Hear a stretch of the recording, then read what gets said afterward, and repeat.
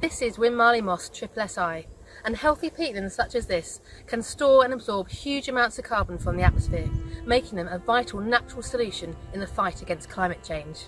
However, when they are drained or damaged in any way, that carbon gets released, contributing to greenhouse gas emissions. Rewetting of peatlands helps to solve most of the problems caused by drainage, and this is what we're doing on sites we restore. But restoration usually implies a stop or reduction in conventional agriculture, which may not always be possible for farmers needing to make a living. So, what's the solution?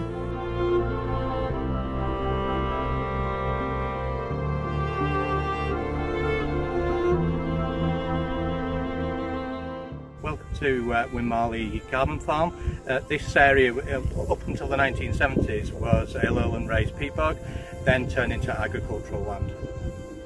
So on this carbon farm we're essentially planting a permanent cover crop of sphagnum moss to absorb and trap carbon in the ground. So the first thing we did was strip the surface top layer off uh, to remove all the nutrients.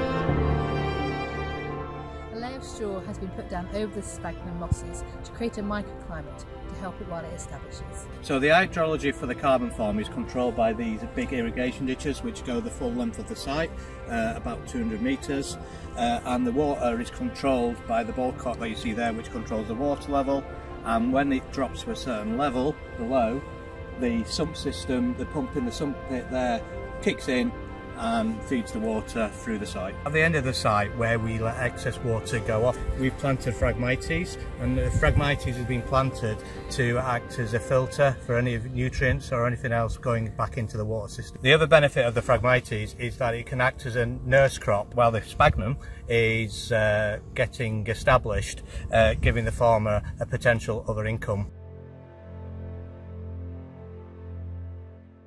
This collar has been put in by uh, MMU to analyse greenhouse gas uh, emissions from this peat soil and we'll be studying that over the next two years.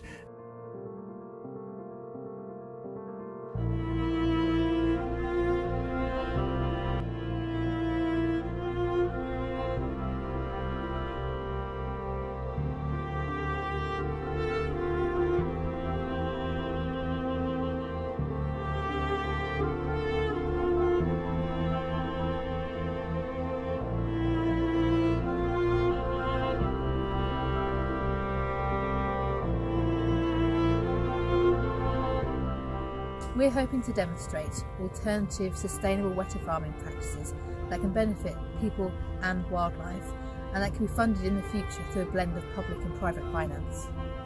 We've created this farm scale pilot so farmers and policymakers can see carbon farming in action and to share lessons learned and showcase what can be achieved to go forwards in a much more sustainable way.